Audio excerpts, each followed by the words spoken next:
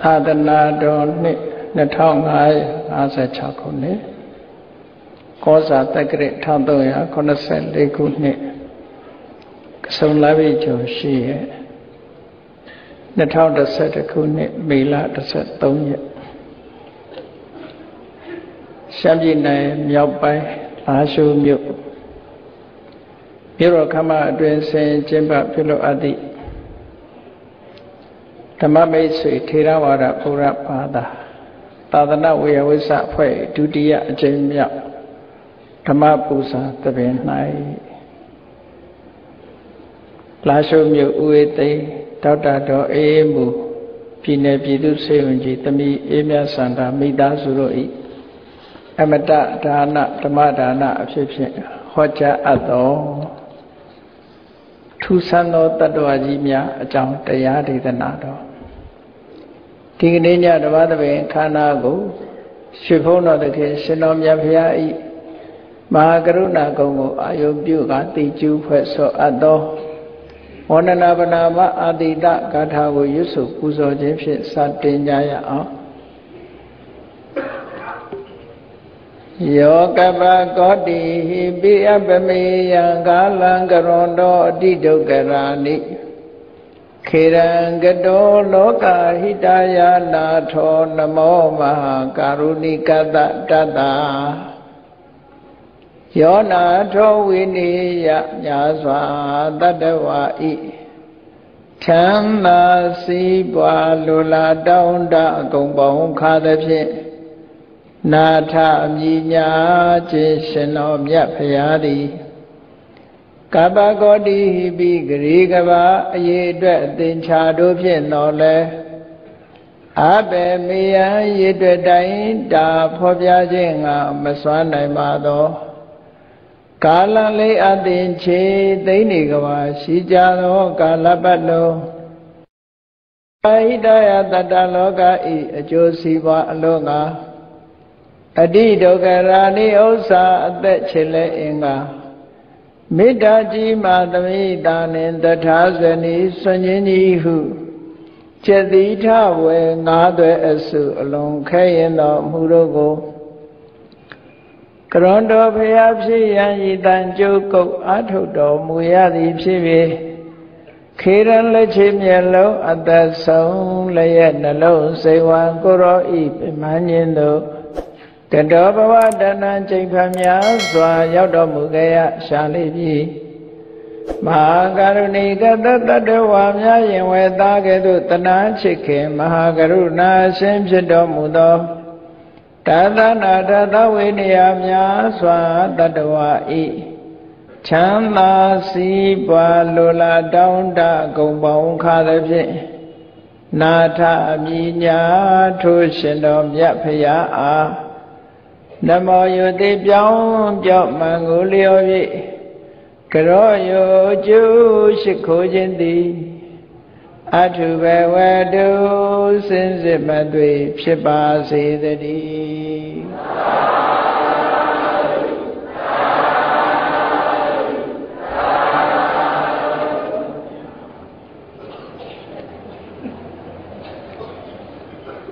ထူးဆန်းသော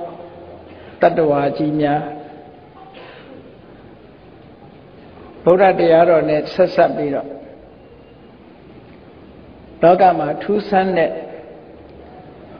တတ္တဝါမျိုးတွေဟာဘယ်ပုံပဲနည်းဖြစ်ပေါ်လျက်ရှိတယ်ဆိုတာဘုန်းကြီးတို့တရားချစ်ခင်သူတော်စင်ပြိဿအပေါင်းတို့ဓမ္မတန်ဝေခရရှိစိန်သောငါ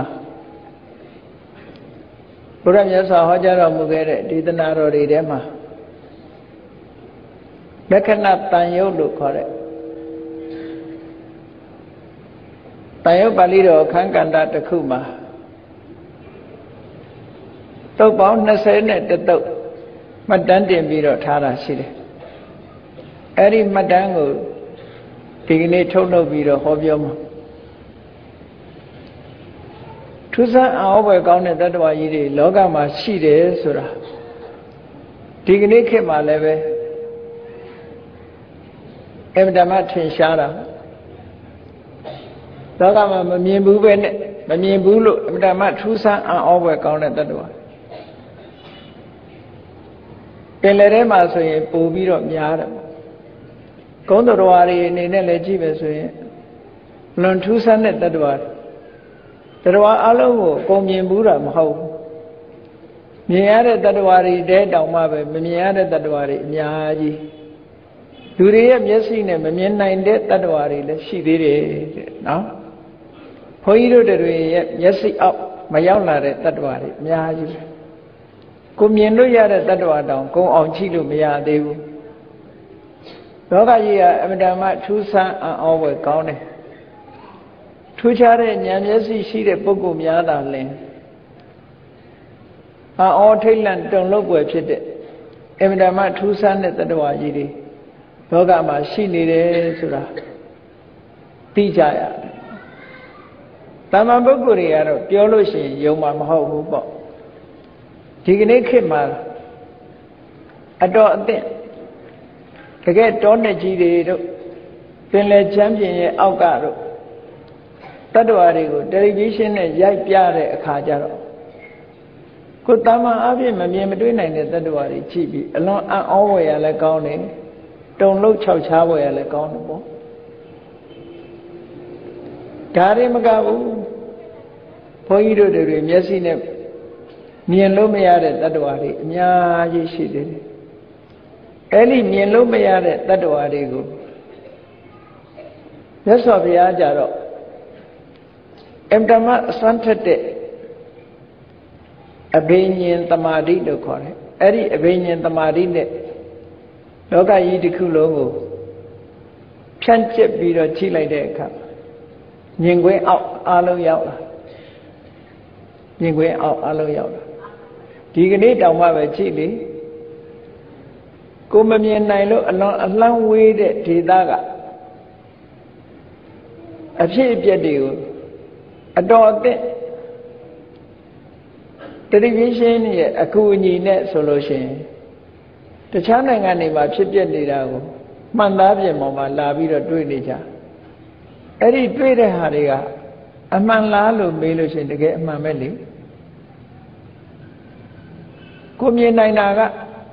အမတန်မှနည်းတယ်မမြင်တာတွေကအမတန်မှများတယ်အဲ့ဒါလိုပဲ အခုဒီတုတ်တံမှာမှတ်တမ်းတင်ထားတဲ့ထူးဆန်းတဲ့တ attva ကြီးတွေဟာအမတန်မှအံ့ဩဖွယ်ရလည်းကောင်းတယ်ထိတ်လန့်တုန်လှုပ်ဖွယ်ရလည်းကောင်းတယ်ဘုရားမြတ်စွာရဲ့တရားတော်အရာတရားဆိုတာကံအားလျော်ကိုလှုပ်တဲ့ပုံရိပ်တွေလာပြီးတော့ပေါ်တာ ကိုလှုပ်ခဲ့တဲ့ကိုယ့်ရဲ့စိတ်နေစိတ်ထားကိုလှုပ်ခဲ့တဲ့အရာတွေကကိုဘဝတစ်ခုမှလာပေါ်နေကံကြမ္မာရဲ့ပုံရိပ်တွေကလာပြီးတော့ထင်တယ်အမှားအဖြစ်စဉ်းစားကြည့်ဘုန်းကြီးတို့လောကလူသားတွေအများကိုမကြည့်နဲ့လာရှုံမျိုးသူမျိုးသားတွေတည်းပဲကြည့်ရုပ်စင်လှပတဲ့ပုဂ္ဂိုလ်တွေရှိတယ်အယုတ်ဆိုးတဲ့ပုဂ္ဂိုလ်ရှိ အသားမဲတဲ့ပုဂ္ဂိုလ်ရှိတယ်ဖြူတဲ့ပုဂ္ဂိုလ်ရှိတယ်ညံထက်တဲ့ပုဂ္ဂိုလ်ရှိတယ်ညံမထက်တဲ့ပုဂ္ဂိုလ်သက်ရှည်တဲ့ပုဂ္ဂိုလ်ရှိတယ်အသက်တူတဲ့ပုဂ္ဂိုလ်တွေရှိတယ်ပစ္စည်းဥစ္စာတနာကျွယ်ဝတဲ့ပုဂ္ဂိုလ်တွေရှိတယ်ဆင်းရဲမွဲတေတဲ့ပုဂ္ဂိုလ်တွေရှိတယ်ဒီကွဲပြားခြားနားမှုတွေကိုဘယ်သူကခွဲခြားပေးနေတာလဲလို့တခြားဘာသာဝင်တွေရဲ့အဖြေကတော့ရှင်းပါတယ်ဖရာသခင်ဖန်ဆင်းတာပေါ့နော် ဖရာသခင်ဖန်ဆင်းတာလို့ပဲဖြေမှာပဲဘုရားဘာသာတရားတော်အရာကြတော့အဲ့ဒီအဖြေမဟုတ်ဘူးမတူတဲ့အဖြေဖြေလူတွေရဲ့စိတ်နေသဘောထားတွေဟာမတူကြဘူးဒါမတူဘူးဆိုတော့အမတမမှန်တယ်ဒီဘဝမှာပဲကြည့်ညီကုံမောင်နှမတွေပင်ဖြစ်လင့်ကစားစိတ်နေသဘောထားတွေဟာတူညီမှုမရှိကြဘူးတဲ့နော် အဲ့ဒီစိတ်တွေသဘောထားတွေတူညီမှုမရှိတော့အတွေးအခေါ်တွေအကြံစီတွေလည်းကွဲပြားစိတ်ရဲ့တွေးတာတွေကလည်းတယောက်နဲ့တယောက်မတူတွေးတာတွေမတူလို့အပြောလည်းမတူဘူးအလုပ်လည်းမတူဘူးကွဲပြားခြားနားလာကြတယောက်ကဒါကြိုက်တယ်ဟိုတယောက်ကဟိုဟာကြိုက်တယ်အကြိုက်ချင်းမတူကြဘူးကိုကြိုက်တာကိုလုံးကြတယ်ကိုလန်းကိုလျှောက်ကြတယ်ဆိုတဲ့ကကွဲပြားခြားနာမှု အဲ့ဒါကိုအခြေခံတာပဲဆိုလိုတာအဲ့ဒါကိုအခြေခံတာအဲ့ဒါကိုပဲကံလို့ပြောတာနော်ကံဆိုဒီမှာအပေါ်ယံပြောမယ်ဆိုလို့ရှိရင်စိတ်ထဲမှာတွေးတယ်နှုတ်ကထုတ်ပြောတယ်ကိုယ်ဒီလက်ရောက်ပြုလုပ်တယ်အဲ့ဒီစိတ်ထဲမှာတွေးခြင်း နှုတ်ကထုတ်ပြောခြင်းကိုယ်ဒီလက်ရောက်လှုပ်ခြင်းရဲ့နောက်ွယ်မှာဘယ်သူရှိနေတယ်လဲဆိုရင်စိတ်ထဲမှာဖြစ်ပေါ်တဲ့တွန်းအားကလေးရှိ volition လို့အများအားဖြင့်အင်္ဂလိပ်လိုပြောကြတယ် stimulation motivation လူရဲ့စိတ်ကိုလှုံ့ဆော်နေတဲ့အရာလေးတစ်ခုရှိတယ်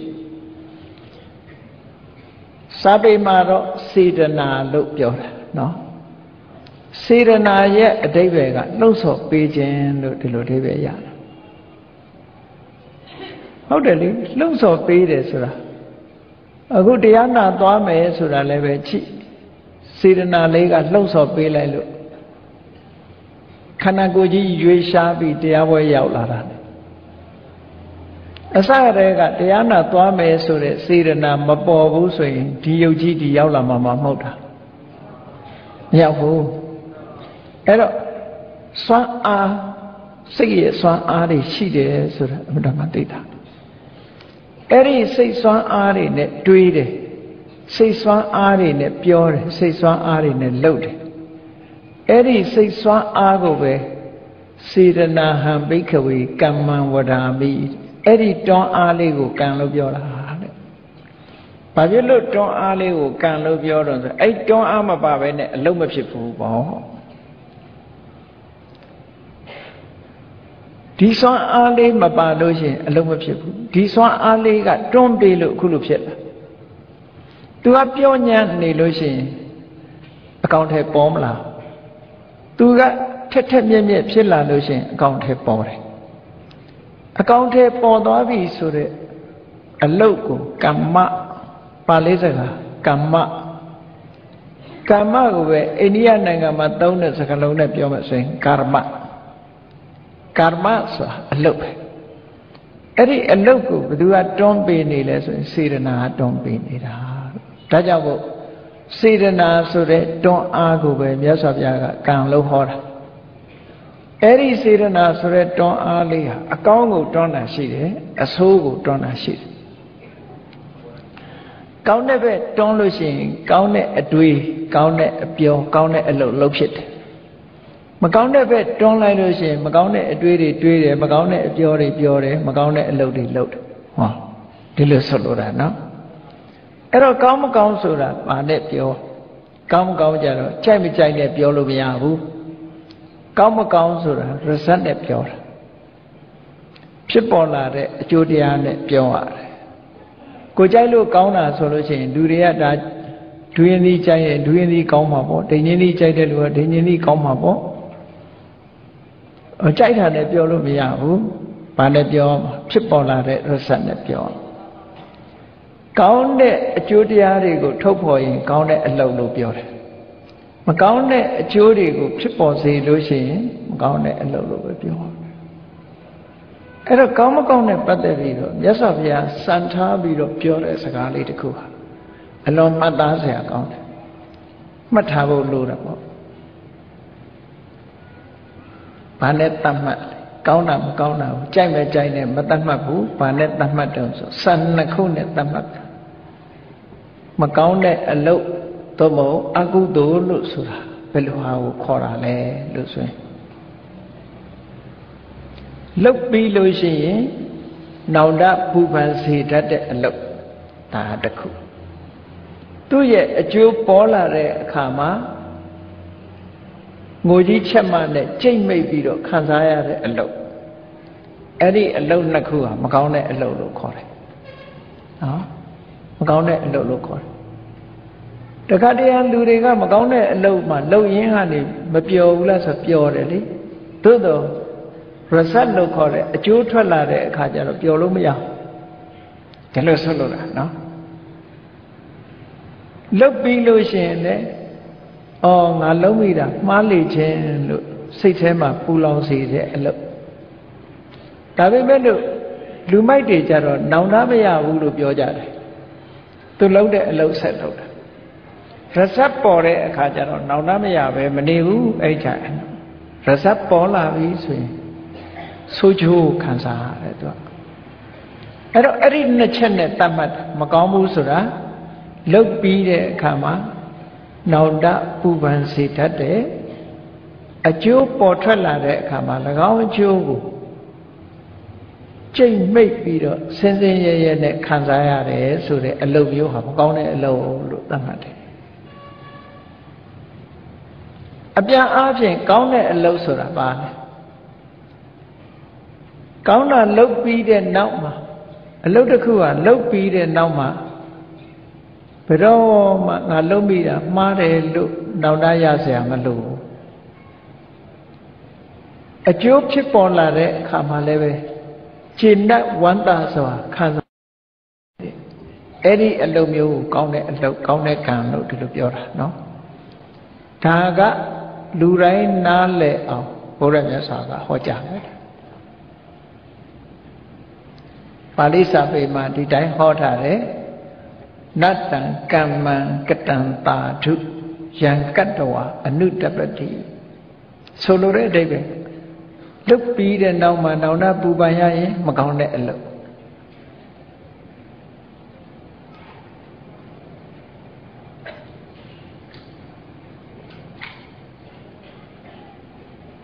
နောက်တစ်ခါလုတ်ပြီးတဲ့နောက်မှာနောင်တပူပန်ရ တငုံကိုတယိုယိုနဲ့ယတ္တအတုမုခောရောဓံဝိပါကံပฏิသေဝတိအတုမုခဆိုမျက်ရည်တွေရွှဲနေတဲ့မျက်နှာရုဒ္ဓဆိုတာတငုံကိုတယိုယိုနဲ့အဲ့ဒီမိမိရဲ့လုပ်ခဲ့တဲ့အကျိုးကိုကြိတ်မိတ်ခံစားရတယ်တဲ့အဲ့ဒီအလုပ်မျိုးဟာနတ္တာထုမကောင်းတဲ့အလုပ်ပါလို့ဒီလိုသတ်မှတ်တယ်နော် ကောင်းတဲ့အလုပ်ကြတော့တင်စကမ္မံကတံတာဓုယံကတ္တဝနာနုတပတိဘယ်တော့မှနောင်တပူပမှုကိုမဖြစ်စေတတ်တဲ့အလုပ်မျိုးယတ္တပတိတောသူမနောဝိပါကံပရိသေဝတိဝမ်းမြောက်ဝမ်းသာနှစ်ချိုက်ခြေတတ်စွာအကျိုးတရားကိုခံစားရတယ်တဲ့အဲ့ဒီအလုပ်မျိုးကြတော့ တင်စကမ္မံကတံတာတုအဲ့ဒီအလုပ်ကြတော့ကောင်းတဲ့အလုပ်ဒီစံနဲ့ပဲသတ်မှတ်သွားအဲ့တော့လောကမှာကောင်းတာလုပ်လို့ကောင်းကျိုးရပြီမကောင်းတာလုပ်လို့မကောင်းကျိုးရတယ်ဆိုတာဟာ the law of nature ကမ္မနိယာမသဘာဝတရားကြီးတာဖြစ်တယ်ဖရာသခင်ကပြည့်ညတ်လို့ပေါ်လာတာမဟုတ်ဘူးမြတ်စွာဘုရားက ထီတိုင်းဆိုတာကိုထုတ်ဖို့ဟောကြားတာသာဖြစ်တယ်ပေါ့အဲ့တော့တတိထားစရာကောင်းတာဒီကနေ့ခေတ်မှာလူတွေယုံကြည်ကိုးကွယ်နေကြတဲ့ဘာသာတရားကမ္ဘာဘာသာကြီးတွေဘုရားဘာသာကမြတ်စွာဘုရားဟောတဲ့တရားကပြောမယ်ဆိုရင် human center religion ပဲ min center religion လူကိုဗဟိုပြုပြီးတော့ဟောတယ် တနည်းအားဖြင့်ပြောမယ်ဆိုရင် mind center religion ပဲလူတွေရဲ့စိတ်ထက်ကိုအဓိကထားပြီးတော့မြတ်စွာဘုရားဟောတယ်အပြင်ကိုမရှာဘူးအတွင်းကိုပဲရှာတယ်တခြားဘာသာတွေကြည့်မယ်ဆိုရင်ဘယ်ဘာသာပဲဖြစ်ဖြစ်တခြားဗုဒ္ဓဘာသာကလွဲရင်တခြားဘာသာတွေဟာ God center religion ပဲခေါကိုဗဟုပြုထားတာကောကောင်းတယ်ဆိုတာလဲခေါကပြောတာနော် လူတွေရဲ့ကောင်းကျိုးဆိုးကျိုးကိုဖန်တီးပေးတာလဲခေါပဲကောင်းကျိုးဆိုးကျိုးရဲ့အကျိုးတရားကိုခံစားဖို့ရာစီမံဆောင်ရွက်တာလဲခေါပဲခေါဆိုတာနတ်ပေါ့ကောင်းကင်ဘုံကနတ်ကြီးတကူရှင်ကြီးအဲ့ဒီတကူရှင်ကြီးဖန်ဆင်းသမျှလူတွေဟာသူပြုသမျှနုရမဲ့အနေအထားမျိုးပဲပြောမယ်ဆိုလို့ရှိရင် ဘာသာတရားတွေမှာဗုဒ္ဓဘာသာကလွဲရင်ကျန်တဲ့ဘာသာတွေကနတ်ကိုးွယ်တဲ့ဘာသာတွေလို့ပြောလို့ရတယ်ဘုရားဘာသာကကိုးကွယ်တာနတ်မဟုတ်ဘူးဖះကိုကိုးကွယ်တယ်ဆိုတာမြတ်စွာဘုရားစီကအဆုံးမရဖို့ကိုးကွယ်တာဒီတဲ့ရှင်းတဲ့ဥပမာလေးတစ်ခုပြောမယ်ဆိုရင်နေမကောင်းတဲ့အခါလူတွေပဲသွားကြဆရာဝန်စီသွားတယ်မဟုတ်လား ဆရာဝန်စီသွားတာဘာရည်ရွယ်ချက်နဲ့သွားတာတုံးဆိုဒီယောဂါကိုပျောက်အောင်ကုပေးနိုင်လိမ့်မယ်ဆိုယုံကြည်ချက်နဲ့သွားတယ်ဒါဖြင့်ဆရာဝန်ကယောဂါကိုပျောက်အောင်ဘယ်လိုလုပ်တာတုံးဆိုရင်ဒီယောဂါကဘာယောဂါဘာကြောင့်ဖြစ်တာဘယ်ဆေးစားရမယ်ဘယ်ဟာနဲ့မတည့်ဘူးဘယ်ဟာနဲ့တည့်ဆိုပြီးဆေးပေးတာပဲမဟုတ်လားတီးတယ်ပို့ပြီးလုပ်ပေးတာရှိရလားမရှိဘူး ဒါတော့ပဲသူလုံးနိုင်တဲ့အတိုင်းဒါဒါပဲလေအဲ့တော့လူနာကဘာလို့အောင်ဆရာဝန်ညွန်တဲ့အတိုင်းဆေးစားဖို့ပဲလို့တေချာစဉ်းစားကြည့်နော်လက်တွေ့ကအဲ့ဒါပဲအဲ့တော့ဗုဒ္ဓဘာသာတွေဗုဒ္ဓကိုကိုးကွယ်တယ်ဆိုတာဘာလဲလို့ဆိုရင်လှုပ်တဲ့နာနဲ့မလှုပ်တဲ့နာသိဖို့အတွက်ဖះကဒါလှုပ်တဲ့နဲ့ဒါမလှုပ်တဲ့ဘူးပြောမယ်ပြောလို့ရှိရင်မလှုပ်တဲ့နာကိုရှောင်မယ်လှုပ်တဲ့နာကိုလှုပ်မယ်ဟော ဖះလမ်းညွှန်ချက်အတိုင်းလိုက်နာဖို့ဖះကိုကိုးကွယ်တာထိတယ်မပူလမ်းညွှန်ပြီးရင်ဘာလုပ်ရမလဲကိုကိုယ်တိုင်လုပ်ရဆေးမစားရင်ယောဂပျောက်ကလားဆရာဝန်ကဘလောက်ဆေးကောင်းပေးပေးလူနာကဆရာဝန်ပြောတာနဲ့ကြောင်းမြန်လုပ်နေတယ်ဆေးမစားဘူးဆိုရင်ပျောက်မလားမပျောက်ဘူးအဲ့တိုင်မြတ်စွာဘုရားကဟောတဲ့တရားဆိုတာဆေးလိုပဲဆေးညွှန်းတဲ့သဘောပဲ ဒါလိုရမယ်ဒါမလိုရဘူးအဲ့တော့ဒါကဘာသာရေးနဲ့တင်ပတ်သက်သလားလို့ဆိုဘယ်ဟုတ်မလဲတေချာစဉ်းစားကြည့်နော်လူတိုင်းလူတိုင်းမှာသာသမီတွေရှိကြတယ်တတ်နိုင်တဲ့မိဘတွေကကိုသားကိုသမီးကိုအမြဲတမ်းချစ်တယ်ချစ်တဲ့အခါကျတော့ပညာတတ်ကြီးဖြစ်စေခြင်းညာမိဘတိုင်းမိဘတိုင်း ပညာတတ်ကြီးဖြစ်ခြင်းတော့မိဘကသာသမီကိုပညာတတ်ကြီးဖြစ်အောင်လုပ်ပေးနိုင်လားလို့ဆိုအတိုင်းတာတစ်ခုပဲလုပ်ပေးနိုင်တယ်အကုန်လုံးမပေးနိုင်ဘူးတဲ့ဒါဖြင့်ဘယ်တိုင်းတာထိလုပ်ပေးတော့မိဘကသာသမီကိုဘလောက်ထိအောင်လုပ်ပေးနိုင်တော့ဆိုကျောင်းကောင်းကောင်းထားပေးမယ်ဆရာကောင်းအပ်ပေးမယ်ဒါပဲမဟုတ်လားလိုအပ်တဲ့ငွေကြေးထောက်ပံ့မယ်ဒီတဲ့ပို့လို့လို့မရ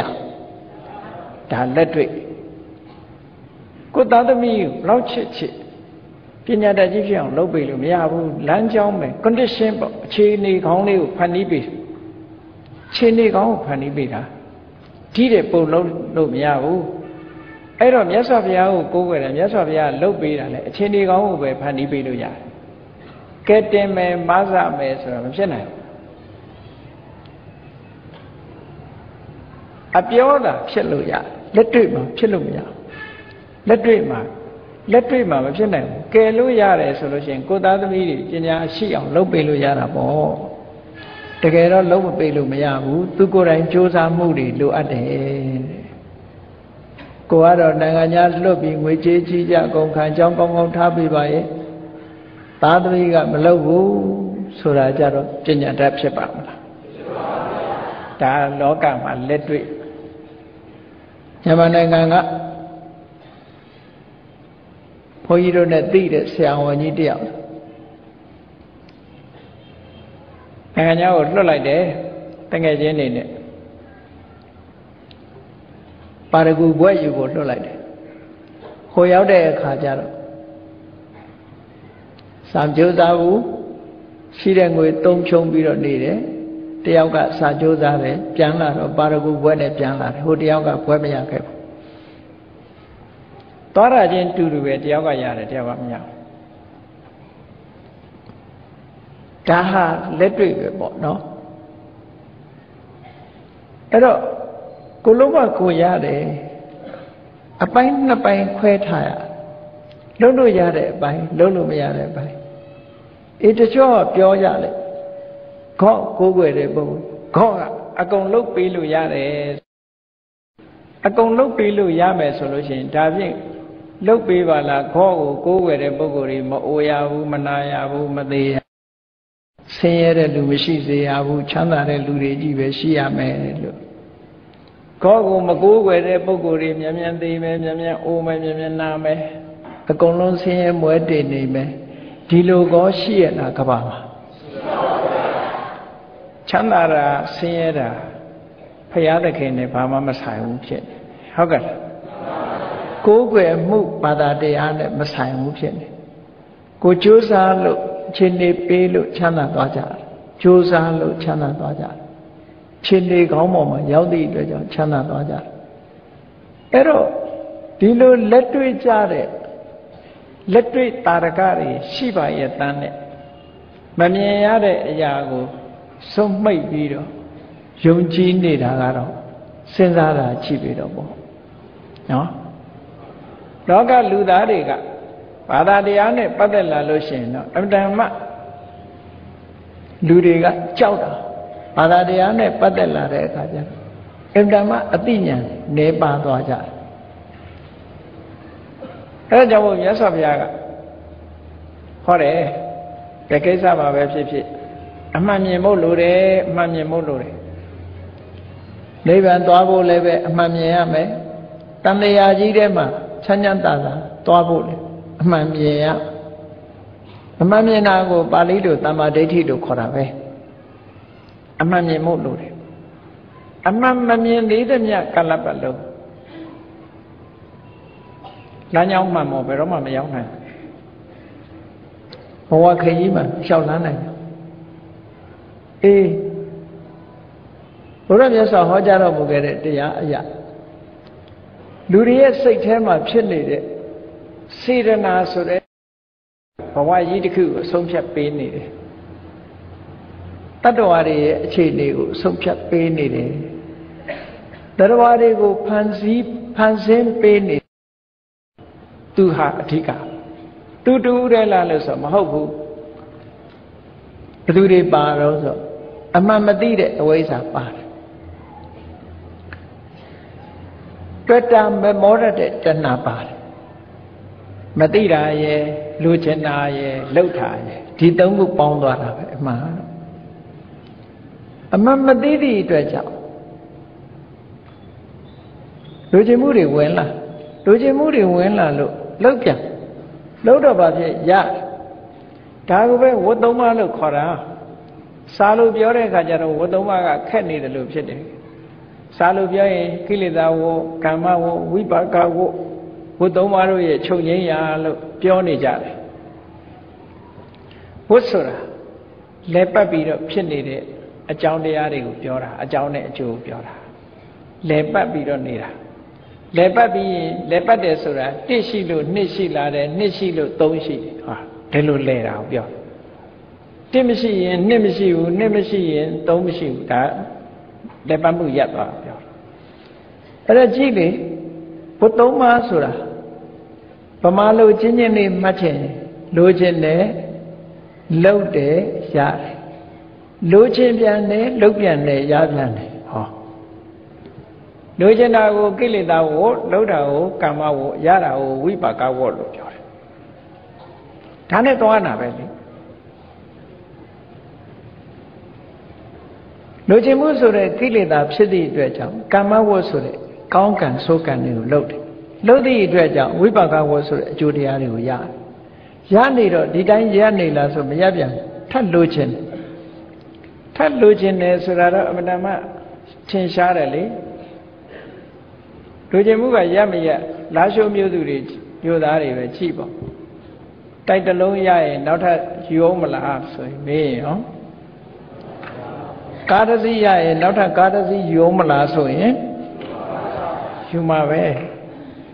လိုချင်မှုကရမှမရတာလေအဲ့ဒါလို့ကိလေသာဝကမ္မဝဝိပါကဝအဲ့ဒီဝတ္တမလဲနေတာအဲ့ဒီဝတ္တမကိုရဆိုင်ရင်ဘာကိုရဆိုင်ရမှာလဲကိလေသာဝကိုဖယ်ရမှာကိလေသာဝဆိုတာလိုချင်မှုအမှန်မသိမှုဒါကိလေသာဝခေါ်တယ်အမှန်သိသွားရင်မလိုချင်တော့မလိုချင်ရင်မလုပ်တော့မလုပ်ရင်မရတော့ဘူးပေါ့ဒါပေါ့ မရတော့ရင်အေးချမ်းသွားတာပဲဒါကတဏှာနဲ့ပြောတာနော်တတန်တရားနဲ့ပြောတဲ့အခါအဲ့လိုနားလဲရကဲကောင်းပြီဘဝဆိုတာဘဝကြီးရဲ့လက်တယ်ဟာဘာတူလဲလို့ပြောတဲ့အခါတခါတရံမြတ်စွာဘုရားကတဏှာဆိုတဲ့လူကျင်မှုတိမ့်ပိုက်မှုဟာဘဝရဲ့လက်တယ်ပဲလို့တော်တော်များများတုတ်တန်နေမှာဘဝနိတိဘဝကိုဆွတ်ဆောင်သွားတဲ့အရာလို့ဒီလိုဟောတယ် မြတ်စွာဘုရားဓမ္မစကြာထဲမှာလည်းကြည်ယာယံတဏှာပောနုဘဝိကာတဲ့ဘဝအစ်တွေကိုထုတ်လုပ်တာဘယ်သူလို့ဆိုတဏှာပဲလေ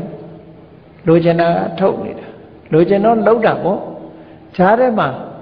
ဘုရားကတဏှာကိုဥတည်ပြီးတော့ပြောပြမယ်လို့နှစ်ခုထပ်မှတ်ရလိုချင်မှုတဏှာရှိတော့ဘာလာတော့ဆိုလှုပ်တယ်လှုပ်တာကကံ လိုချင်မှုတဏှာတဏှာရှိလို့လှုပ်တယ်လှုပ်တော့ရတယ်ဒီလိုဆိုလို့ဒါဖြင့်လိုချင်မှုရဲ့ရှေ့မှာဘယ်သူရှိပြန်တော့ဆိုဘာကြောင့်လိုချင်တာတုံးဆိုအပြစ်မမြင်လို့လိုချင်တာပါမမြင်တာကအဝိဇ္ဇာအဝိဇ္ဇာဖြစ်နေတော့တဏှာဖြစ်တယ်တဏှာဖြစ်တဲ့အခါကျတော့ကံနေဖြစ်လာတယ်ကံနေဖြစ်လာတဲ့အခါကျတော့ကြိုးစားအထောက်မှုတွေဖြစ်တယ်ဒါကိုဆိုလိုတာ ပရိစ္ဆေသမုပ္ပါမှာလည်းဒါကိုဟောတာပဲမြတ်စွာဘုရားရှေ့ပိုင်းမှာဆိုလို့ရှိရင်အဝိဇ္ဇာပစ္စယသင်္ခါရသင်္ခါရပစ္စယဝိညာဏဒီလိုဟောတာမဟုတ်လားအဝိဇ္ဇာဆိုတာကိလေသာသင်္ခါရဆိုတာကံနော်ကိလေသာဝတ်နဲ့ကမ္မဝတ်သူတို့ကနေထုတ်လွတ်လိုက်တော့ဘာဖြစ်တယ်ဆိုသင်္ခါရပစ္စယဝိညာဏဆိုတဲ့ဘဝတစ်ခုပေါ်လာဗျာဒီလိုဆိုတာ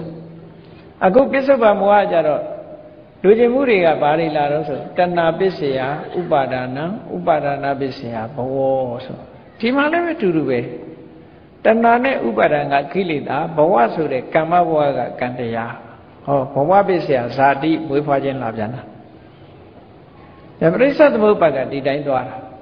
ပရိစ္ဆသမုပ္ပါဆိုတာအကြောင်းဆက်သွယ်ပြီးတော့ဖြစ်ပေါ်နေတဲ့သဘောကိုပြောတာရှောင်လွဲလို့မရဘူးဒါရှိရင်ဒါရှိလာမှာပဲအခုကြည့်လေ တရားစစ်မီးရှိနေလို့အလင်းရှိနေတာမီးငိမ့်ကြည့်ပါလားဒီအလင်းရှိရဲ့လားဒါဖြင့်ဒီအလင်းကိုဘယ်သူကထုတ်လုပ်ထားတာတော့ဆိုဒီလျှက်စစ်ပြီးလုံးကထုတ်လုပ်ထားတာနော်အဲ့လိုဆိုလို့တယ်အဝိဇ္ဇာရှိနေရင်သင်္ခါရရှိနေမယ်လို့ဒါပြောတာအဲ့ဒါကိုကြောင်းပြုပြီးတော့နာမည်ပေးထားတာကြည့်ပဋိစ္စသမုပ္ပါဒပဋိစ္စဆိုတာ တခုခုစွဲမိပြီးတော့သမုပ္ပါဒဖြစ်ပေါ်စေတတ်တဲ့အကြောင်းတရားဒီလိုအဓိပ္ပာယ်မှတ်ရမယ်ပဋိစ္စဆိုတာတခုကိုစွဲမိပြီးတော့မှသမုပ္ပါဒထုတ်လုပ်တာအဲ့ဒါအဓိပ္ပာယ်အမှန်နော်တချို့ကပဋိစ္စဆိုတာအကြောင်းတရားသမုပ္ပါဒဆိုတာအကျိုးတရားလို့အဲ့လိုပြောရင်စာနဲ့မညီဘူးမှန်လည်းမမှန်ဘူးနော်တကလုံးနှလုံးစလုံးကအကျိုး အကြောင်းတရားကိုရည်ညွှန်းတာပရိစ္ဆသမုပ္ပါဒဒါမို့အင်္ဂလိပ်လိုပြန်တဲ့အခါ dependent origination အကြောင်းတခုကိုမှီပြီးတော့မှထုတ်လုပ်လို့ရတယ်လို့ဒီလိုပြောတာနော်ဒီတဲ့ရှင်းအောင်ပြောမယ်မျိုးစိတ်လေးမျိုးစိတ်လေးတစ်ခုရှိတယ်အဲ့ဒီမျိုးစိတ်လေးကဘာတွေထုတ်လုပ်တုံးဆိုရင်အမြင့်ကိုထုတ်တယ်အညောင်ကိုထုတ်တယ် အဲ့ဒါလို့အမြင့်နဲ့အညောင်ကိုထုတ်တဲ့အခါမှာဘသူကိုအမိပြုရတော့သူ့ဘာသူထုတ်လို့ရရလားမျိုးစိတ်လေးကိုသူကသူပလင်းနဲ့ထည့်ထားမယ်သူကအညောင်ကိုထုတ်လို့ရလားအမြင့်ကိုထုတ်လို့ရလားမရဘူးသူ့ရဲ့အထောက်အကူကဘယ်သူတော့ဆိုလို့ရှိရင်မြေနဲ့ရေဟော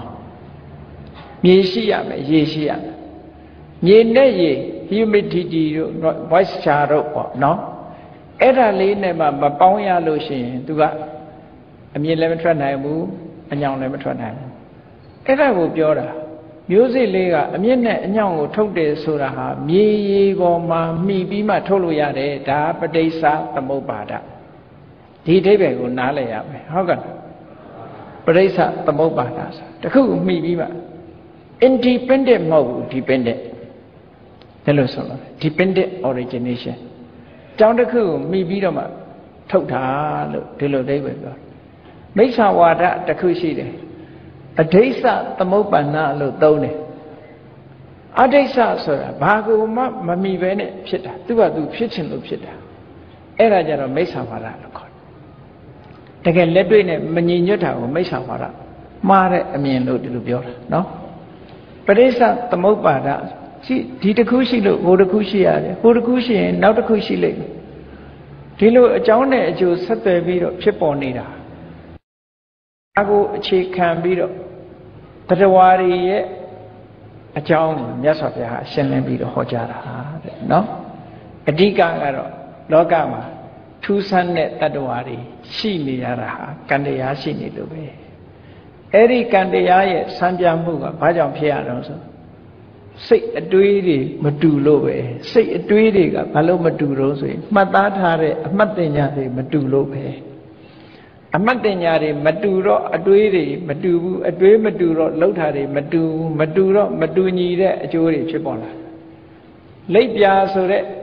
အကောင်တစ်မျိုးပဲကြည့်အောင်တောင်ပံမှာဘယ်ပကြီးဆရာကလာရေးထားတာတော့ဘယ်သူမှရေးတာမဟုတ်ဘူးဟုတ်ကဲ့လား ထူးဆန်းတဲ့အယောင်တွေပေါ်နေတာဘယ်သူကနေအဲတာမန်ပြောရင်တော့လွယ်လွယ်လေးပေါ့သာဝရဘုရားဖန်ဆင်းတာလို့သာဝရဘုရားကလည်းပကြီးတတ်သလားနော်သာဝရဘုရားဖန်ဆင်းတယ်လို့ပြောတာသိပြမျိုးပေါင်းနေတာမဟုတ်ဘူး species ကိုလေ့လာတဲ့ပုဂ္ဂိုလ်ကြီးကြည့်မယ်ဆိုရင်တောင်ပံမှာအယောင်မျိုးစုံနဲ့ရှိတာတကယ်ကတော့ဘုန်းကြီးတို့အခုဒီတရားနာလာတဲ့ပရိသတ်တွေကြည့်တယောက်နဲ့တယောက်စိတ်ဓာတ်တွေမတူဘူး အတွေးတွေမတူဘူးအသိဉာဏ်ဉာဏ်မတူဒီတည်းကကွဲနေပြီကွဲနေသည့်အတွက်ကြောင့်ဘဝတန်တရားခရီးသွားတဲ့အခါမှာလည်းကွဲပြားခြားနားမှုတွေနဲ့လာမှာပဲကိုဒီလိုဆိုလို့တာနော်အေးကောင်းပြီအမတန်မှထူးခြားတဲ့ထူးဆန်းတဲ့တတ္တဝါကြီးတွေအကြောင်းကိုပြောအောင်ဒီလိုထူးဆန်းတဲ့အခြေအနေမျိုးကိုရောက်တာဘာကြောင့်ရောက်လာဘယ်သူကလှုပ်ထားလဲ စရင်နဲ့တင်ကြည့်မယ်ဆိုရင်နဲတာမှမဟုတ်ဘဲနဲ့အရေးအတွက်ဒါကလူတွေရဲ့မျက်စိတွေမှာမြင်မလာနိုင်ဘူးတဲ့ဘယ်သူကတွေ့တာတုံးလို့ဆိုပထမဆုံးစတွေ့တာတော့မြတ်စွာဘုရားသခင်ကိုရမြတ်ကိုယ်တိုင်တွေ့ခဲ့တယ်တွေ့တယ်ဆိုတာပဂတိမျက်စိနဲ့တွေ့တာမဟုတ်ဘူးမြတ်စွာဘုရားကတမာတိလုပ်ငန်းမှာအစွမ်းထက်တယ် တမာတိတမထကျင့်စဉ်ကိုကျင့်တဲ့အခါမှာပထမဇန်ဒုတိယဇန်တတိယဇန်သုဒ္ဓဇန်ရောက်သွားပြီဆိုတဲ့အခါမှာတမာတိစွမ်းအားတွေတာဟာမြင့်လာမြင့်လာတဲ့အခါမှာကမ္ဘာလောကကြီးထဲမှာဘာတွေရှိတယ်လဲဆိုတာကိုသူကြည့်တယ်ကြည့်တဲ့အခါကျတော့တာမန်နဲ့ကြည့်လို့မရဘူးလောကမှာကြည့်တယ်ဆိုတဲ့အခါမှာကြည့်ဖို့အတွက်ဘာအကူအညီလိုအပ်တယ်ဆိုရင်အလင်းအောင်ရဲ့အကူအညီလိုအပ်တယ်ဒါအမှန်ပဲ မှောင်ကြီးထဲမှာမြင်ရပါမလားမမြင်ပါဘူးမျက်စိရှိပြီမဲ့လို့မောင်းနေမမြင်ရဘူးလေမြေကြီးတဲ့ကြည့်ရင်ဒီတိုင်းသွားကြည့်လို့ပဲမြင်မှာတော့မြတ်စွာဘုရားဒိဗ္ဗစကုနဲ့ကြည့်တယ်လို့ဆိုတာမြေကြီးတဲ့ကြည့်တယ်ဒီတိုင်းကြည့်ပဲမြင်မှာတော့တဘာဝဆိုတာဆန့်ကျင်လို့မရဘူးအမြင်ရဲ့အကူအညီအလင်းပဲ condition လို့ခေါ်တယ်နော်အမြင်ရဲ့အကူအညီ အလင်းရောင်ပဲအဲ့ဒါကြောင့်မလို့ဒိဗ္ဗစကုနဲ့ကြည့်ကြည့်ဘာနဲ့ကြည့်ကြည့်အလင်းရောင်လို့တယ်ညသွားတဲ့အခါကျဓာမိနဲ့ထိုးကြည့်မြင်ရတယ်မဟုတ်လားအဲ့ဒါလို့ပဲဒိဗ္ဗစကုအပင်ညင်နဲ့ကြည့်ကြပြီဆိုရင်လောကကြီးတစ်ခုလုံးကိုအလင်းရောင်အရင်ဖြန့်ရတယ်ဖြန့်ပြီးတော့မှအဲ့ဒီအလင်းအားနဲ့ကြည့်တဲ့အခါအကုန်ပေါ်လာတယ်ခုခေတ်လည်းကြည့်လေမှန်ဘလူးအားနဲ့ပေါ်တယ်ဆိုဗိုင်းရပ်စ်တို့ဘာတို့ပေါ်လာတာမဟုတ်လားလို့ တမ္မာမျက်စိနဲ့ကြည့်လို့ရှိရင်ဒီပိုးတွေကမြင်ရတာမှမဟုတ်ပဲမှန်ဘလူးအားနဲ့ကြည့်ရင်မြင်ရတယ်မဟုတ်လားအေးတယ်လီစကုပ်တို့နက်ခတ်ကြည့်တဲ့မှန်မြောင်းကြီးတွေတို့အမတန်အားကောင်းတာတွေနဲ့ကြည့်ပြီးတော့ခုသိပ္ပံဆရာတွေကပြောနေတယ်မဟုတ်လားလာနဲ့ကျဲနဲ့ဘယ်လောက်နီးနေတယ်တို့ဘာတို့လာအစ်စ်တွေ့တယ်တို့ကျဲအစ်စ်တွေ့တယ်တို့ပြောတယ်သူကြည့်ပြောတာပဲလေတမန်မျက်စိနဲ့ကြည့်ပဲမြင်မှာတော့ အဲ့ဒါလိုပဲဒိဗ္ဗစကုနဲ့ကြည့်လိုက်တဲ့အခါမှာအလင်းရောင်ဖြန့်ကျက်ပြီးတော့ကြည့်ရအဲ့လိုကြည့်လိုက်တဲ့အခါမှာမြတ်စွာဘုရားရဲ့မြင်ကွင်းထဲမှာအင်တန်မှထူးဆန်းတဲ့တတ္တဝါကြီးတွေပေါ်လာတယ်ပေါ်လာတဲ့အခါကျတော့နောက်တစ်ဆင့်ထက်ပြီးတော့ကြည့်တယ်ဒီကောင်ကြီးတွေဒီတတ္တဝါကြီးတွေဘာဖြစ်လို့ဖြစ်ရတာလဲလို့သူတို့လာတဲ့လမ်းကြောင်းတိုင်းလိုက်ကြည့်တာဘယ်ကလာတာတော့နော်ဒီကောင်ကြီးတွေမွေးလာတာဘယ်ကလာမွေးလာတော့ဆို အတိတ်ဘဝကသူတို့ဘာလုပ်ခဲ့တာတွေပါအကုန်သိတာဒါဒိဗ္ဗစက္ခုကယထာကမ္မုပကညာလို့ခေါ်တယ်သူ့ရဲ့လောက်ရတွေပါဒီဘဝနဲ့မဟုတ်ဘူးအတိတ်ဘဝကလှမ်းမြင်လို့ရတယ်မြင်တဲ့အခါမှာခုနဆက်ဆက်ပြီးတော့ကြည့်လိုက်တဲ့အခါဟိုဘဝတုန်းကဘာတွေလုပ်ခဲ့တယ်ဆိုတာတွေကအသေးစိတ်သိသွားတယ်အဲ့ဒါလို့သိတဲ့အခါကျတော့ဗမြတ်စွာဘုရားဟောတာဒါကြောင့်မို့ ဖျားဟောတဲ့တရားကတယံအဘိညာကိုယ်တိုင်သိပြီးတော့မှသစ္စိကတဝါလက်တွေ့သုံးချပြီးတော့မှပဝေဒိမိဟောတာတဲ့အဲ့ဒါမှစိန်ချတဆင့်ပြောတာမဟုတ်ဘူးတမန်တော်ကတဆင့်ပြောတာလည်းမဟုတ်ဘူးနော်ဒီပြင်လူတွေမကြားရဘူးတမန်တော်ကပြောတာဒါကိုကြားရတယ်ဒါမျိုးမဟုတ်ဘူး hearsay ဆိုတာတဆင့်ပြောတဲ့စကားမျိုးမဟုတ်ဘူးကိုယ်တိုင်ကြားတယ်မြတ်စွာဘုရားကိုယ်တိုင်သိတာကိုယ်တိုင်မြင်ပြီးတော့ဒီလိုဟောတာလို့ဆိုလို့ အဲ့ဒါကိုဘုန်းကြီးတို့တွေကထပ်ဟောတာနော်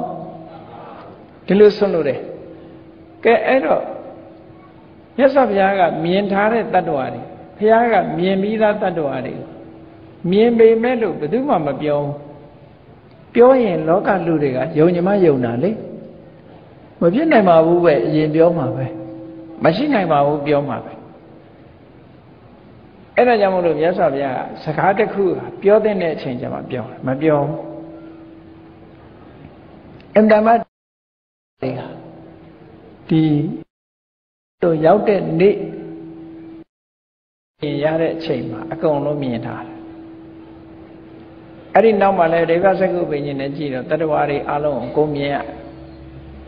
ကြည့်ကျင်တဲ့နေရာအကုန်ကြည့်အကုန်မြင်ရ အဲ့ဒီမြင်မိသားတွေကိုတတ္တဝါတွေကိုပြောပြသလားဆိုမပြော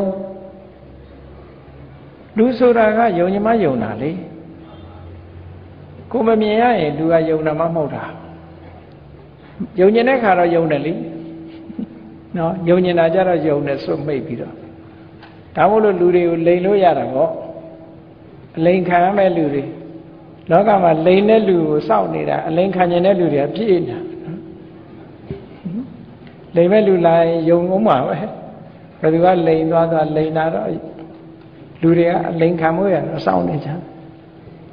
သို့တော့စဉ်းစားဉာဏ်ရှိတဲ့ပုဂ္ဂိုလ်တွေကတော်တော်များများမယုံဘူးကိုမမြင်ရမမြင်ရလို့မယုံတဲ့လူတွေကအများကြီးအဲ့တော့ဒီထူးဆန်းတဲ့တ attva တွေကိုဘယ်သူကစမြင်လာတော့ဆိုဘုရားမြင်တာပဲသို့တော့နောက်ထပ်ဘယ်သူမြင်တယ်လဲလို့ဆိုတဲ့အခါ ဒီတုတ်တံမှာပေါ်ပြထားတာရသော်ဘုရားကရာဇကြိုးပြေဝေလွန်အောင်ကျောင်းတော်မှာသတင်းသုံးနေတယ်ရှင်မောက်ကလန်နဲ့ရှင်လက္ခဏာတို့ကရာဇကြိုပြည်နာကခေစကုတ်တောင်ပေါ်မှာတရင်သုံးတာဘုရားကေယဖျားဘူးသွားတဲ့လူတွေတွေ့လိမ့်မယ်ခေစကုတ်တောင်တို့ခဏလည်းရှိတာအဲ့ဒီခေစကုတ်တောင်မှာ နေပြီးတော့မနဲ့ကြတဲ့အခါကျတော့ရာဇကြိုမြို့ထဲကိုဆွမ်းကံဝင်တာတောင်ပေါ်ကနေဆင်းလာကြတဲ့အခါကျတော့ရှင်မောကလန်ဆိုတာတမာတိအကျင့်ကိုအမြဲတမ်းကြည့်တွတ်တွတ်လဲလဲအခုကြည့်ခြင်းအခုဖြတ်ခနဲ့ဝင်စားလို့ရတယ်သူကဖြတ်ခနဲ့ဝင်စားလို့ရတယ်အေးတရားထိုင်တဲ့အလေးချင်းရှိတဲ့လူတွေကနော်9မိနစ်10မိနစ်တော့သူကမရရတိုက်ဒီထိုင်ရဲအိတ်လို့ရတယ် အိတ်ပြော်သွားတာလဲကြမသွားဘူးသူတို့အကျင့်ရှိနေတယ်ဟုတ်ကဲ့လားထိုင်ရဲအိတ်တဲ့အကျင့်ရှိသွားတယ်လဲမတော်ဘူးအကျင့်ရှိတဲ့လူကတော့ငိုက်နေတာပဲလေခေါင်းတညိမ့်ညိမ့်နေဖြစ်နေအမဲဟိုလူကတော့မတ်နေတာပဲဒါပေမဲ့လို့ကြည့်ရင်အိတ်နေတာအဲ့ဒါမျိုးလည်းရှိသေးတယ်နော်အလေးအကျင့်ပေါ်မှာမူတည်တယ်ဒါအဲ့တော့ရှင်မောကလမထေရကလည်းလမ်းလျှောက်ရင်းကနေပြီးတော့သူ သံတဘာဘဝင်စားလို့ရတယ်ဖြတ်ခနဲ့တိတ်မြန်လို့ရှိရင်သူကလူတွေဟာဆိုပါစို့ဥပမာတစ်ခုသိပ်မြန်လို့ရှိရင်သူကမြန်တဲ့အရာတစ်ခုဟာဟိုလူတိုင်းလူတိုင်းဟာမျက်စိဟာသူကတစ်စက္ကန့် 10စက္ကန့်20စက္ကန့်ပေါ့တယောက်နဲ့တယောက်တော့မတူဘူးပေါ့မျက်လုံးလေးခတ်နေတာမဟုတ်လားရက်တောင်လေးခတ်မနေဘူးလားခတ်လိုက်တဲ့အချိန်မှာမြင်ရပါမလားမမြင်ရဘူးအလွန်မြန်သည့်အတွက်ကြောင့်တယ်လီဗီရှင်းကြည့်တဲ့အခါမှာမျက်တောင်ဘလောက်ခက်ခက်လွတ်သွားတယ်လို့မရှိဘူး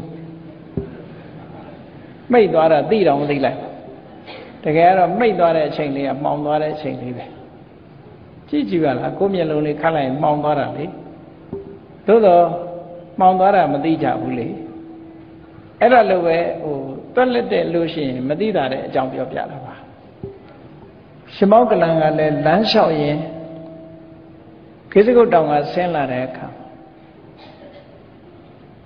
ဇံဝင်စားပြီးတော့တမဘဝင်စားပြီးအဖေညင်နဲ့သူ့ရှေ့ပတ်ဝန်းကျင်ကိုသူကြည့်လိုက်တာဘာတွေ့တော့နော်မျက်စိလည်းဖွင့်လိုက်တယ် မျက်စိဖွင့်တယ်ဆိုတာဒိဗ္ဗစကုအဖေညင်နဲ့ကြည့်လိုက်တယ်နာတော်တာလည်းဒိဗ္ဗတော်တာအဖေညင်လည်းပဲဖွင့်လိုက်တယ်ဖွင့်လိုက်တဲ့အခါမြင်လဲမြင်လဲကြားလဲကြား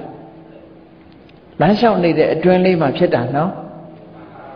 ကောင်းကင်ယံမှာဗာမြင်လိုက်တုံးဆိုအသားမပါအယိုးကြီးပဲ skeleton ပေါ့အယိုးစုကြီး လူတော်ဝါလို့အကောင်အယိုးစုကြီးကြီးကြီးအဲ့ဒီအကောင်ကြီးကိုလက်ဓာတ်တွေကြီးကန်းတွေစွန်ရဲတွေကနေပြီးဝိုင်းစိတ်စိတ်လိုက်တော့အဲ့ဒီကောင်ကြီးကအောနာတယ်အယိုးစုကြီးဆိုအသေးကြီးမဟုတ်ဘူးအရှင်ကြီးသူကနော်လရတွေသူ့ကိုဝိုင်းပြီးတော့ငှက်တွေကစိတ်နေကြတာစိတ်တော့သူကអော်လိုက်တာလေနာလို့អော်နေတာအဲ့ဒီအတန်ကိုတာမန်လူတွေကမကြားရဘူးသူ့ကိုလည်းတာမန်လူတွေကမမြင်ရဘူး ရှင်မောကလန်ကဒိဗ္ဗစကုနဲ့လမ်းကြည့်လိုက်တဲ့အခါကျတော့အဲ့ဒီကောင်ကြီးကိုမြင်လိုက်တာကောင်းကင်ယံမှာဖြတ်ခနဲ့ကြည့်လိုက်တော့အဲ့ဒီကောင်ကြီးမြင်ရတာအိုးတနာစရာអော်လိုက်တဲ့အတန်ကြီးကဒါနဲ့ရှင်မောကလန်ဖြတ်ခနဲ့တန်ဝေကရပြီးတော့စဉ်းစားတယ်အော်ဒီလောက်ထူးဆန်းတဲ့တရားမျိုးလည်းပဲရှိသေးတာမလားလောကကြီးမှာငါတို့တော့ တရားဓမ္မကျင့်ကြံကြိုးကိုအထုတ်လို့ဒီတတ္တဝါမျိုးအဖြစ်ကလွတ်ရတယ်လို့စိတ်ထဲမှာဝမ်းသာသွားလို့သူကပြုံးလိုက်တာအမှတ်တမဲ့ပြုံးလိုက်တာကိုသူနဲ့တူတူဆင်းလာတယ်ရှင်လက္ခဏာကမြင်တယ်ရှင်ဗျာကိုရောကြီးပြုံးတာကြီးလည်းဘာပြုံးတာတော့ဆိုတော့ရှင်မောကလန်ကမဖြေဘူးဘာလို့လဲဆိုသိထူးဆန်းနေတော့မဖြစ်နိုင်ပါဘူးကိုရောလို့ပြောမှဆိုလို့ဟောကိုရောလည်းဒီမေးခွန်းဒီနေရာမှာမေးနေအောင်နဲ့ ဖះရှိရောက်တဲ့အခါမှာမေးပါတဲ့ဆိုဆွမ်းကဆင်းသွားကြဆွမ်းခံလို့ပြန်လာကြပြန်လာပြီးတော့ညနေရောက်တဲ့အခါမြတ်စွာဘုရားစီရောက်ကြဘုရားရှင်ရောက်တဲ့အခါကျတော့ရှင်လက္ခဏာကလည်းသိကျင်လားမေးတယ်မနေ့ကကိုတော်ကြီးပြုံးတယ်ဘာဖြစ်လို့ပြုံးတာတုံးဆိုတော့ဈေးကန်တယ်ပေါ့နော်မဖြေသေးဘူး ဘုရားရှင်ကျမမေးအခုဘုရားရှင်ရောက်ပြီကိုတော်မေးတယ်ထပ်ပြီးတော့ဘာဖြစ်လို့ပြုံးတာတုံးလို့ဆိုတော့သူကအဲ့ဒါပြောပြကိုတော်တဲ့အမတမထူးဆန်းတယ်တဲ့ကောင်းကင်ယံမှာမော့ကြည့်လိုက်တော့ skeleton အယိုးစုကြီးတရဝါကောင်ကြီးထူးဆန်းတဲ့တရဝါကြီးဒီကောင်တွေ့ရတယ်အဲ့ဒီကောင်ကြီးကအယိုးစုဆိုပေမဲ့လို့အသက်ရှိတယ် လက်ရတွေကြီးကန်းတွေကဝိုင်းစိတ်နေတာကိုသူကအောနေတာတဲ့နာလုံးတို့ရုံးကန်အော်ပြီးတော့ပြေးလွှားနေတာတဲ့အဲ့ဒါကြီးကိုသူမြင်ခဲ့တာတဲ့အင်တာမထူးဆန်းတယ်လို့ဆိုတော့မြတ်စွာဘုရားကထောက်ခံတယ်ဟုတ်တယ်ဟုတ်တယ်အောစရာကောင်းတယ်တဲ့ငါတပည့်တွေအခုဒီလိုတတ္တဝါမျိုးတွေတောင်မှအမှတ်တမဲ့မနေပဲနဲ့မြင်နိုင်တဲ့ဉာဏ်တွေသိနိုင်တဲ့ဉာဏ်တွေရလာကြပြီ ဒီတတ္တဝါကြီးကိုငါအရင်တုန်းကတည်းကမြင်ခဲ့တယ်ဒါပေမဲ့လို့ဘယ်သူမှမပြောဘူးဘာဖြစ်လို့ပြောလဲယုံကြမှာမဟုတ်လို့မပြောတာတဲ့ဆိုပြီးတော့မြတ်စွာဘုရားကဆက်ပြောတယ်ဒီတတ္တဝါကြီးဟာဘာဖြစ်လို့ဒီလိုအနေထားမျိုးအယိုးစုကြီးဖြစ်ပြီးတော့အကောင်လောင်တွေဝိုင်းစိတ်ထားကိုအော်ဟစ်ပြီးတော့ဒုက္ခခံနေရတာတုံးဆိုသူဟာတဲ့ လွန်ခဲ့တဲ့ဘဝတုန်းကရာဇဂျိုပြေကနွားသက်သမားကြီးတဲ့ကြည့်နော်သူ့ရဲ့အတိတ်စာကြောင်းကိုတွားကြည့်လိုက်တဲ့အခါသူဘယ်သူတုံးဆိုနွားသက်သမားကြီးတဲ့ဟိုဘဝတုန်းကနွားတွေကိုတတ်ဖြတ်ပြီးတော့ရောင်းချစားတော့နေ့စဉ်နွားတွေကိုတတ်ဖြတ်ပြီးတော့ရောင်းနေတဲ့လူတယောက်ကြတော့အဲ့ဒီအကုသိုလ်တွေသူများတဲ့တတ်တယ်ဆိုတဲ့ကဘယ်လဲလဲကူကူပဲဟုတ်မလဲဒေါသနဲ့တတ်တာပဲနော် သူများတဲ့ကိုတတ်တယ်ဆိုနွားကလည်းပဲလဲဆင်းပြီးဘယ်ခံလိုက်မလဲရုံးမှာပေါ့အဲ့ဒီနွားကိုတတ်ပြီးတော့နေ့စဉ်နဲ့အမျှနွားတတ်ပြီးရောင်းပြီးဘာတွေလုပ်ခဲ့တော့ဆိုအသားကိုပြောင်းနေအောင်ချစ်ယူပြီးတော့အသားတွေကိုရောင်းချအယိုးတပုံအသားတပုံတရေတပုံထားပြီးတော့အကုန်လုံးရောင်းချပြီးတော့စားတောက်လာခဲ့တာနေ့စဉ်နဲ့အမျှသူ့နေရာမှာ နွားအယိုးပုံကြီးကိုသူအမြဲတမ်းမြင်နေရတယ်တဲ့ဟုတ်တယ်လေနွားတတ်တဲ့လူကနွားရိုးပုံကြီးမြဲမြင်ရမှာပဲအသားကတော့ရောင်းလိုက်တော့မရှိတော့ဘူးအယိုးကတော့ကျန်းနေတာဟုတ်နွားရိုးတွေအမြဲတမ်းမြင်နေရတာတဲ့အဲ့တော့ तू ဒီလိုနွားတွေကိုတတ်ဖြတ်ပြီးအသက်မွေးဝမ်းကြောင်းလောက်သေးတဲ့အခါကျတော့အဲ့ဒီအကုသိုလ်ကနေပြီးတော့ငရဲကိုနှစ် ရာပေါင်းများစွာထောင်ပေါင်းများစွာတောင်းပေါင်းများစွာသိမ့်ပေါင်းများစွာငရဲမှာခံရတယ်တဲ့ငရဲကလွတ်တဲ့အခါကျတော့အဲ့ဒီသူမြင်နေချအယိုးပုံကြီးကစိတ်ထဲမှာထပ်ပေါ်လာတယ်နော်အဲ့ဒါကိုကမ္မနမိတ်လို့ခေါ်တာလူတွေဟာဘယ်သူပဲဖြစ်ဖြစ်သေကံနေကြတော့သူလုပ်ခဲ့တဲ့ကံနေစိတ်နေသဘောထားတွေကပြန်ပေါ်တယ်အဲ့ဒီကံလုပ်တဲ့အချိန်က အနေအထားမျိုးတွေအချမ်းရံအကြောင်းတရားတွေ condition တွေပြန်ပေါ်လာတယ်ဒါကိုကာမနမိတ်လို့ခေါ်တယ်သူလုပ်ခဲ့တဲ့အချိန်တုန်းကဒီကမ္မနမိတ်တွေကပြန်ပေါ်လာတဲ့အခါကျတော့သူ့မျက်စိထဲမှာငရဲကလွတ်တော့ဘာကြီးမြင်တော့ဆိုအယိုးပုံကြီးမြင်အယိုးပုံကြီးမြင်လို့ငရဲကလွတ်ပြီးအဲ့ဒီအကုသိုလ်ကံရဲ့အကျွင်းအကြံအနေနဲ့သူခံလိုက်ရတာဒီအယိုးစုပြိတ္တာကြီးလာဖြစ်တာလို့ဒီလိုဟောတာမြတ်စွာဒါအကြောင်းနဲ့ အကြောင်းနဲ့အကျိုးဆက်ဆက်အဝိဇ္ဇာပစ္စယသင်္ခါရဒီအလုပ်ကိုလုပ်ရင်ပတ်စံရတယ်လို့သာမြင်တယ်သိရင်ငါဒုက္ခရောက်လိမ့်မယ်အပယ်ငယ်ကြလိမ့်ဒီတတဝါဟာတက်ရှိတတဝါဖြစ်လို့တနာစရာလို့လည်း तू မမြင်ဘူးနော်ကိုချင်းစာတရားရှိရမယ်လို့လည်း तू မမြင်ဘူးပတ်စံရဖို့ပဲချိတယ် အကုသိုလ်ရဲ့အကျိုးတရားတွေငါတနေ့ခံရမယ်ဆိုတာလည်းမမြင်ဘူးမမြင်တာအဝိဇ္ဇာအဝိဇ္ဇာပစ္စယသင်္ခါရနွားတတ်တဲ့အလုပ်ကိုလုပ်တာသင်္ခါရနေ့စဉ်နဲ့မြလုပ်တဲ့အခါကျတော့ဝိညာဏလို့ဆိုတဲ့အပယ်ပရိသေတွေကိုသွားပေးတယ်ပေးပြီးတော့အပယ်ကလွတ်တဲ့အခါမှာလည်းပဲကြည့်အယိုးပုံကြီးကိုမြင်နေတယ်အယိုးပုံကြီးကိုမြင်ပြီးတော့အာယုံပြုတ်ပြီးတော့စိတ်ဆိုတာအာယုံညွတ်တဲ့စီမှာမျိုးစိဆိုတာကြာ လူတွေရဲ့တတ္တဝါတွေရဲ့စိတ်ဆိုတာမတ္တမကံတရားဆိုတာအာယုံညွတ်မိတဲ့စီမှာသွားတာသူကဒါလေးကမှတ်ပုံတင်လိုက်တဲ့သဘောပဲအာယုံညွတ်တယ်ဆိုတာမှတ်ပုံတင်လိုက်တာအဲ့ဒီမှတ်ပုံတင်လိုက်တဲ့အတိုင်းပဲနောက်သွားဖြစ်တာပဲသူကအဲ့တော့ကံကမ္မနမိတ်ကိုအာယုံပြုတ်ပြီးတော့အပင်ငရဲကြသွားတယ် အပင်ငရဲကြပြီအပင်ငရဲကတက်တန်းစိတ်လို့ကံအရှိန်ကုန်တယ်ကံရှိန်ကုန်တယ်ဆိုတာအပင်ငရဲမှာသူကတက်တန်းဆိုဒီမှာကိုလှုပ်တဲ့ကံရဲ့အရှိန်ဟွာတိုင်းသွားတာနော်ငရဲတဲ့ဆိုတာလည်းအမြဲမဟုတ်ဘူးတချို့ကြတော့9ရက်လောက်နဲ့တင်ကံကုန်သွားတယ်ဘာနဲ့ဥပမာတူတော့ဆိုရင်ဒုံးမြန်ကိုပြစ်တဲ့အခါမှာပြစ်လိုက်တဲ့အားရှိသလောက်ဒုံးမြန်သွားနေမှာပဲ ခြားထဲမှာဒုံးကွင်းဒုံးနဲ့ပြစ်ချရင်တော့လေဒါဥပိ္ပစေတကပေါ့နော်ဒုံးမြန်များဟာပြစ်လိုက်တဲ့အခါမှာပြစ်တဲ့ဟာမပါတော့ဘူးအရှိန်နဲ့တင်သွားနေတာကဲဒုံးမြန်ကကိုနာမရှိဘူးဘတ်ခွတို့လောင်လွေးတို့နဲ့လောက်စလုံးကိုကဲဘတ်ခွနဲ့ပြစ်လိုက်တယ်ဆိုတာဒီတရေရဲ့အင်အားရှိသလောက်ဒီလောက်စာလေးကပြေးမှာပဲလေအဲ့ဒါလို့ပြေးတယ်လို့ပဲ ကိုလုတ်ခဲ့တဲ့ကံရဲ့စွမ်းအားရှိသလောက်သူရဇက်ကသွားနေမှာသူကစွမ်းအားကုန်ရင်ကျသွားတာပဲဆုံးတတ်တာဒီနောတသမားဟာလည်းပဲသူသူကံအရှိန်ကုန်တဲ့အခါကျတော့အပင်ငရဲမှာသူကဘဝတစ်ခုအဆုံးတတ်သွားတယ်အဲ့ဒီအဆုံးတတ်တဲ့အချိန်လေးမှာသူ့မျက်စိတွေကဘာတွေပြန်မြင်မြန်လို့ဆိုဒီအယိုးပုံကြီးပြန်မြင်နေတယ်ပြန်မြင်သည့်အတွက်ကြောင့်ငရဲကလွတ်လာတဲ့အခါကျတော့ဒီပြိတ္တာကြီးလာဖြစ်တာတဲ့ ဆက်ဆက်နေတာနော်အကြောင်းမဲ့ဖြစ်တာမဟုတ်ဘူးအဲ့ဒါကိုမြတ်စွာဘုရားကဟောပြတာကံတရားရဲ့အကြောင်းကြောင့်ဒီတတ္တဝါကြီးဟာဒီလိုဖြစ်ရတယ်လို့ဒီလိုဟောတာအေးဒါကြောင့်မလို့အမတန်မှလောကကြီးဟာအမတန်မှကြောက်စရာကောင်းတယ်ကိုလှုပ်တဲ့ကံကြမ္မာပုံရိပ်တွေဟာကိုယ့်ဘဝမှာလာပြီးတော့ပေါ်နေတတ်တယ်ဒါကြောင့်မို့လို့ဘုန်းကြီးတို့တွေ မကောင်းတဲ့ကံတွေမလုံးမိအောင်ကောင်းတဲ့ကောင်တွေများများလုပ်ဖို့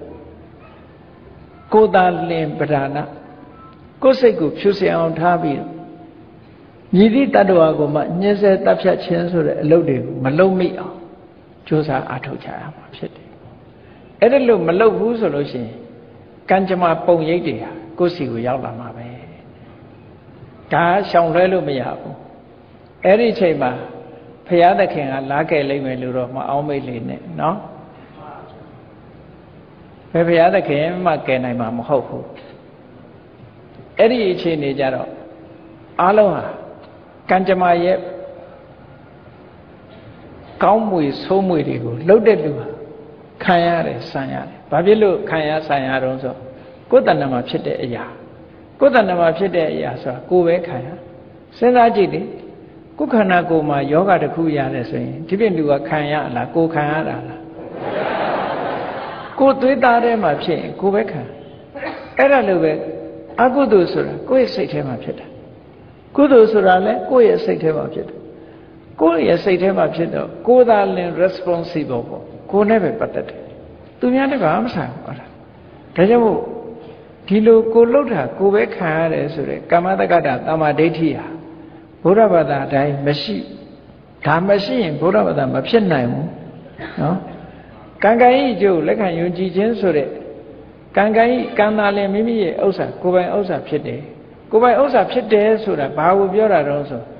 I am responsible responsible ဖြစ်တာပြောတာနော်ကိုလှုပ်တာကိုပဲတာဝန်ယူပါ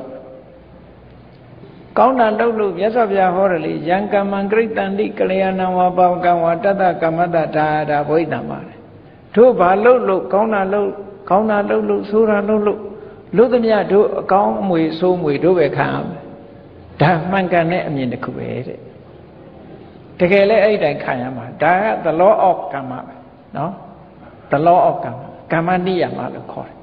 ဒီတိုင်းသွားတာဒါဘယ်သူကမှဖန်ဆင်းတာမဟုတ်ဘူး ကိုယ်တဏ္ဍမှာဖြစ်တဲ့ဟာရှောင်လို့ရောရမလားမရဘူးနော်ကိုယ်ခန္ဓာကိုယ်ကထွက်နေတဲ့အရိပ်ကိုခြေဖြတ်လို့ရလားမရဘူးမရတယ်လို့ပဲသူကကံကြမ္မာဆိုတာလေလုံးလို့မရဘူးလို့ဒီလိုဆိုလို့ပဲအဲ့တော့ကိုယ်တဏ္ဍမှာကောင်းတဲ့ကံတွေဖြစ်နေအောင်ဘုန်းကြီးတို့တွေဟာအမြဲတမ်းတတိထားပြီးတော့အကြောင်းတရားတွေဟာအခုလိုအကြောင်းနဲ့အကျိုးဆက်သွယ်ပြီးတော့ဖြစ်ပေါ်နေတယ်တန်တရားကြီးထဲမှာ ဆင်းရဲကြတယ်ဆိုတာလဲအကြောင်းကြောင့်ဖြစ်တာပဲမွဲဆင်းရဲမွဲတည်ချမ်းသာဒုက္ခရနေကြတယ်ဆိုတာလည်းပဲအကြောင်းမကင်းဘူးအဲ့တော့ကောင်းတဲ့အကြောင်းတွေရဲ့အကျိုးပေးလှဲတဲ့ပုံကိုယ်တွေကောင်းတာတွေလုပ်လို့ကောင်းတဲ့အကျိုးတွေကိုရနေကြတယ်မကောင်းတာလုပ်ရင်မကောင်းတဲ့အကျိုးတွေကိုခံစားနေရတယ်ဆိုတဲ့ဒီကမ္မနိယမသဘောတရားကိုယုံကြည်စွာမှတ်သားပြီးတော့ကိုယ့်ကိုယ်ကိုကောင်းတဲ့ကံတွေလုံးမပဲလို့တန်ဋိဌာန်ချပြီးတော့ ကောင်းအောင်ကြိုးစားအားထုတ်နိုင်ကြပါစေကုန်သတည်းသာဓုသာ